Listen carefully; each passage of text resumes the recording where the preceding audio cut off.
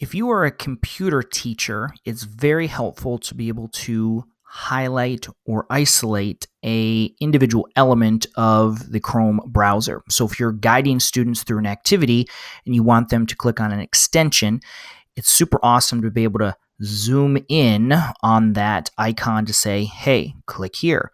Or if you want them to adjust a setting to say, hey, click down here and go into settings. The way that I'm doing this is uh, through an accessibility feature of the Chrome browser. I'll show you how to turn it on here in a second. Um, this is a far superior way to highlight elements of the browser rather than clicking on your Control plus and control minus because you have um, more control over where you, um, the screen is zooming. Um, the screen zooms wherever I put my mouse cursor. So if my mouse cursor is on the yellow O in Google, I can zoom right in on it. Um, it's it's really really great. To use this feature, you first need to enable it. So we're going to click in the bottom right corner and go to settings. We're going to click on the little cog and the fidget spinner. And inside of settings, we're going to click the search and we're going to search for accessibility. Now, this feature is actually an accessibility feature designed for people with low vision, but it's very useful in other respects as well.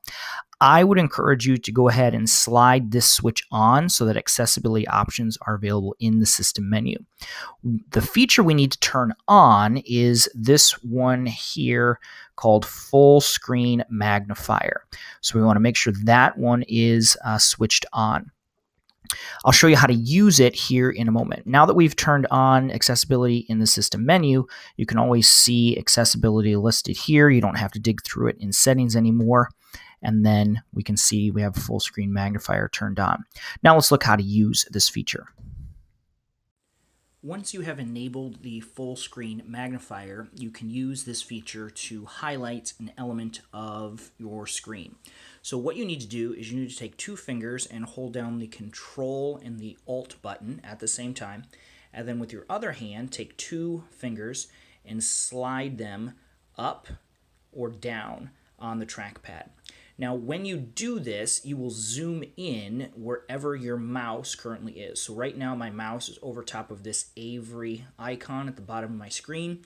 I press Control Alt and slide up, and it zooms in to that area. This is very helpful and useful when you're presenting to students because you can highlight a button. You can say, you know, click down here in the bottom right corner of your screen and look for log out or accessibility or check your battery life, etc. So again, the key is to hold down control and alt at the same time and then slide up and down as if you were scrolling um, on a page.